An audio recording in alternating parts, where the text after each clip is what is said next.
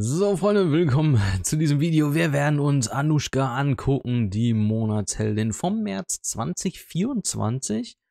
Und es ist wieder an der Zeit, dass es ein, ein lila Held ist. Mm. Sie ist Druidin und hat Regeneration als Alpha-Fähigkeit. Okay. Ist halt da. Ne? Ist jetzt nicht so, so geil und krass, aber es, es, es ist halt da. So, das Passiv kennen wir von ähm, den Astralelfen unter anderem. Ja.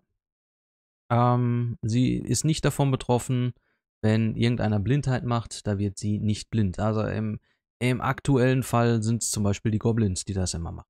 Ja. Das juckt sie herzlich wenig. Und Lebensregeneration bei negativer Statusänderung. Der Charakter stellt 10% Leben wieder her, wenn er eine negative Statusänderung oder einen negativen Stapel erleidet. Okay. Ja. Ist halt gut, ne? Kann man, kann man, ist ein netter Nebeneffekt. Wenn da was Negatives einprasselt, dann hält sie sich ein wenig. Schön, schön für uns. Oder halt auch schlecht, wenn sie als Gegner dasteht. So, seltsamer Weihrauch. Ist auf jeden Fall mittleres Mana. Okay.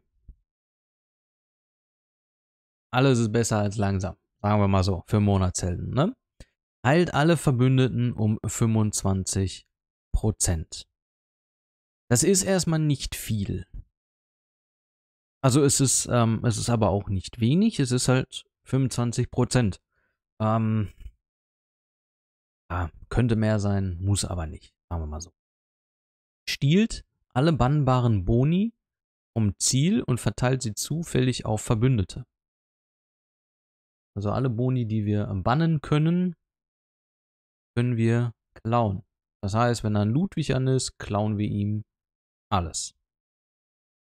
Ist halt nur von einem. Ne? Ist halt ein bisschen schade, aber wenn dann, äh, dann Ludwig hat den Spott und ich glaube auch hier diese Schutz vor Spezialfähigkeiten, diesen blauen Helm, ne?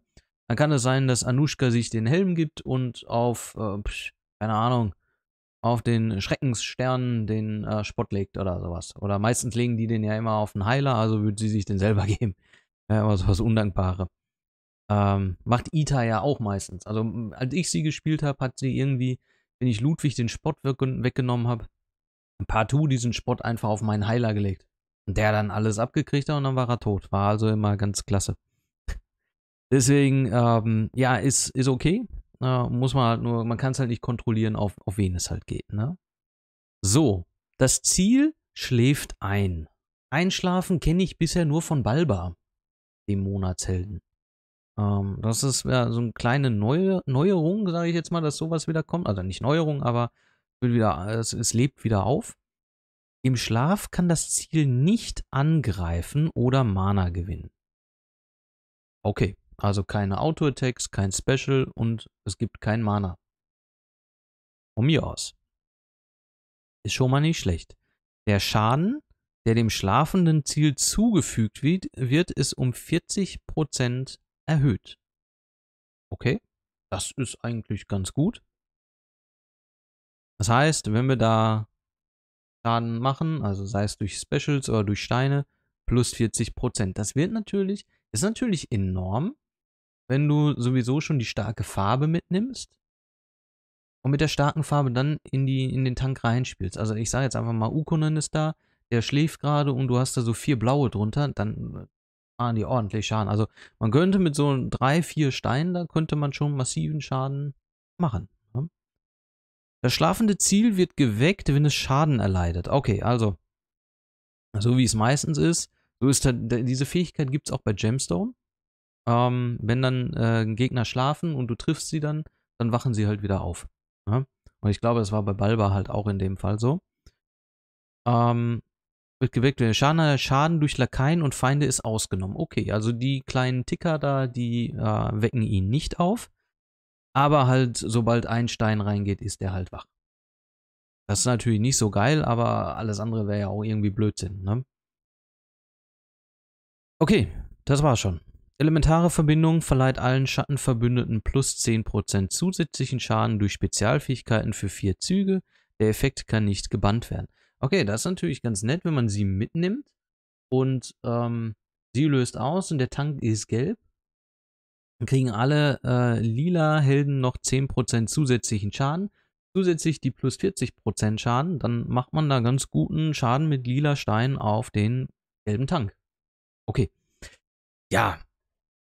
Das Schlafen ist eine ganz nette Sache. Man kann, rein theoretisch muss man sich, wenn man jetzt mal so überlegt, wir würden Anushka feuern auf einen Helden, der in der Ecke steht. So. Dann schläft er. Und es passiert nichts. Ja? Du hast theoretisch ähm, dann mit dem nichts zu tun. Sobald ein Stein reinfliegt, ja klar, dann ähm, wacht er wieder auf. Das heißt, das sollte man versuchen zu verhindern. Problem ist, manche Kaskaden kann man nicht verhindern. Dann äh, trifft er halt. So, das ist natürlich dann nicht so geil. Ähm, was man machen kann, ist natürlich dann so ein Helden in der Ecke, sag ich jetzt mal, wenn man ähm, ja, keine Ahnung, wer, wer ist denn da in der Ecke? Ist egal, wer da in der Ecke ist, ja. Aber du hast dann zum Beispiel einen Sniper dabei im eigenen Team, so ein Gelat oder sowas, so, so einen dicken Sniper oder ein Schaf von mir aus, ja. Und ähm, dann weißt du, okay, der Held hat vielleicht vorher schon ein paar Steine reingekriegt. Er steht da hinten so bei, bei 70, 70 Prozent Leben, schläft aber. Dann weißt du, okay, Schar ist ein dicker Hitter, plus 40% erhöht der Schaden auf dem schlafenden Gegner. Feuerst du mit Char rein, dann könnte der tot sein. Das heißt, du kannst im Endeffekt einen Helden stoppen und davor bewahren, auszulösen. Ja, das kann natürlich, je nachdem, welcher Held das ist, kann das natürlich hilfreich sein. Oder wenn du siehst, ähm, der Tank löst jetzt gleich aus, ich feuer Anushka mal, weil, ähm, oder machen wir es anders. Ähm, der Tank würde jetzt gleich feuern. Du hast vier Steine darunter, die reichen aber nicht, um ihn zu killen. Also denkst du dir, okay, ich feuer Anushka drauf. Er schläft, aber wohlwissend, dass du ihn in der nächsten Runde aufwächst, dir aber diese plus 40% erhöhten Schaden zunutze machen willst, weil du dann denkst, okay, durch diese 40% könnten diese vier Steine oder drei Steine, die da drunter sind in der starken Farbe, deutlich mehr Schaden machen und dadurch könnte man ihn killen wo man ihn vielleicht vorher nicht hätte mitkillen können. Ja? Ähm, das ist vielleicht auch interessant gegen, ähm, vor allem gegen Ukunen, wenn man sowieso einen Attack-Down hat, dann kann der das so ein bisschen gegebenenfalls ausgleichen, dass man dann zumindest neu, normalen Schaden macht, ja, so wie vor dem Attack-Down. Ähm, man muss natürlich aufpassen, es bringt nichts, sie zu feuern. Wenn man weiß, danach äh, mache ich einen Diamanten, und alle Helden werden getroffen. Das macht irgendwie keinen Sinn. Ja? Weil im Endeffekt ist es ja auch so, selbst wenn dann in der Kaskade Steine kommen, unter dem Tank, in deiner starken Farbe, die machen ja dann nicht mehr diese plus 40% erhöhten Schaden, wenn halt vorher irgendein anderer Stein da zuerst getroffen hat und den Helden aufgeweckt hat. Das gilt ja wirklich nur, wenn er schläft. Ja? Und ähm, deswegen muss man da so ein bisschen bisschen aufpassen, das womöglich ein bisschen timen. Äh, ich habe tatsächlich keine Erfahrung mit Helden, die man schlafen legen kann. Also nur durch Gemstone, ne? Ähm, ja, ich weiß nicht.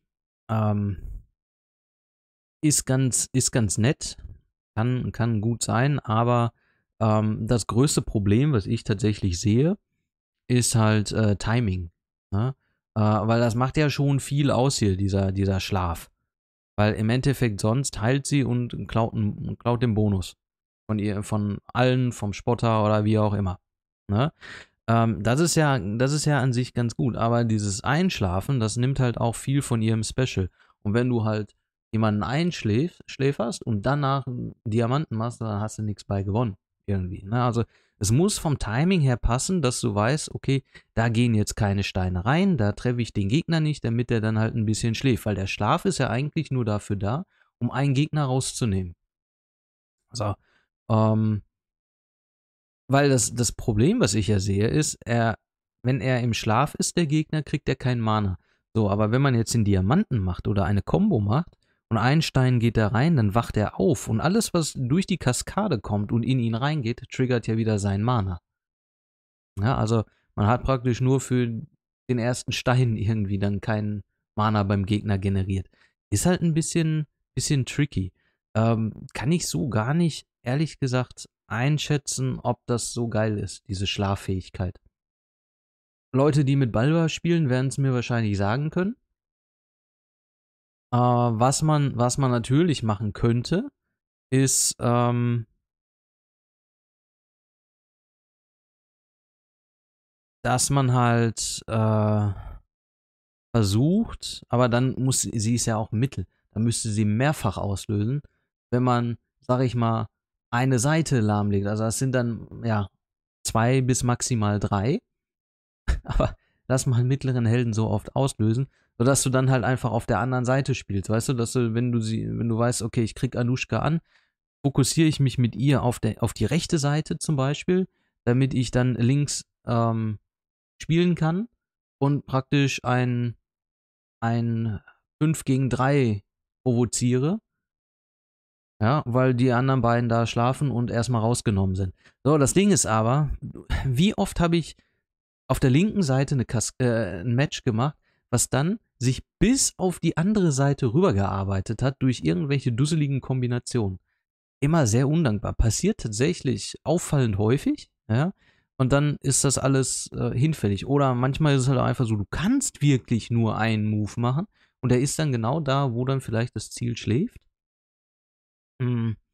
Bin ich ein bisschen äh, skeptisch. Also, das ist ein Held, der ähm, mir sehr zu sehr lastig ist auf diesem Schlaf,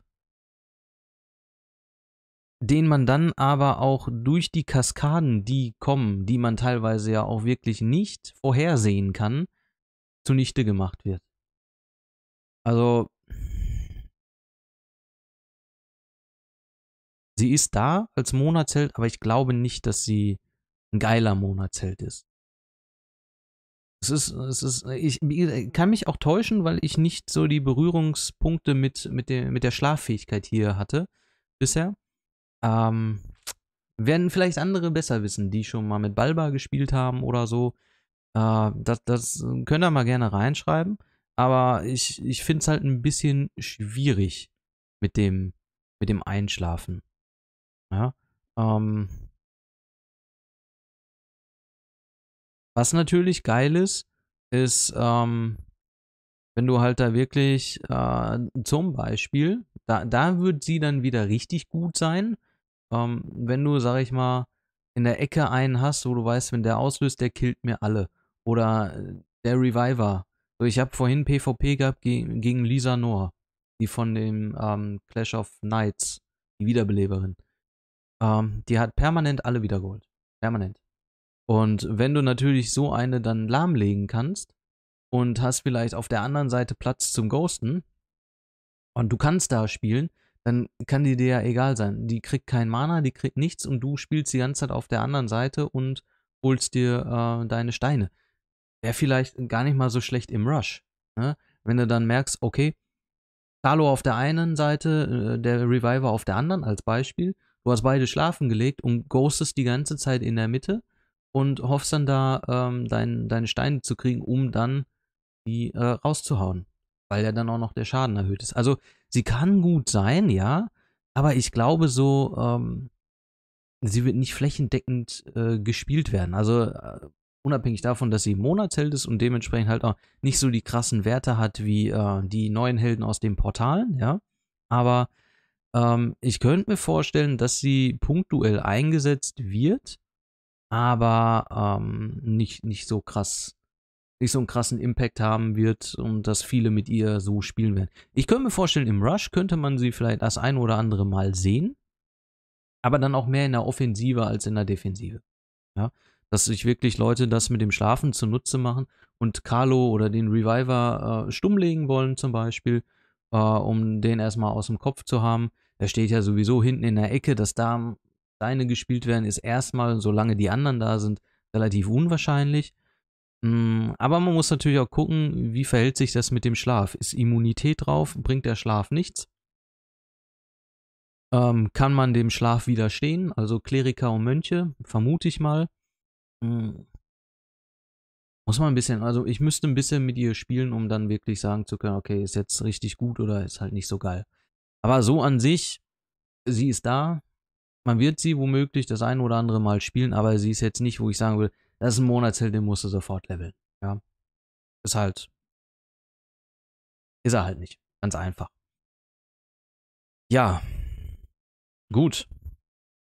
Das war's von mir zum Monatshelden für, für Türme, Events und sowas nicht zu gebrauchen, ne? Ist klar. Für ähm, äh, Turniere, gleiche, gleiche in Grün wie, wie Kriege und sowas, ne? We weiß ich nicht. Wenn, wenn dann in der Offensive, nur in der Defensive nicht.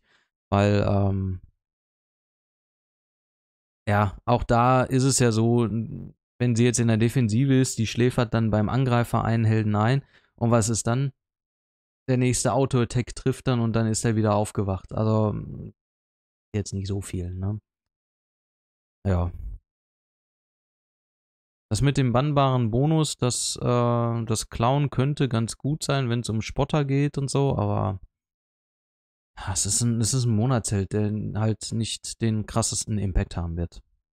Okay, gut. Falls ich was vergessen haben sollte, falls ihr Anmerkungen habt, schreibt sie gerne rein und dann würde ich sagen, sehen wir uns im nächsten Video. Vielen Dank fürs Zuschauen, macht's gut. Ciao, ciao.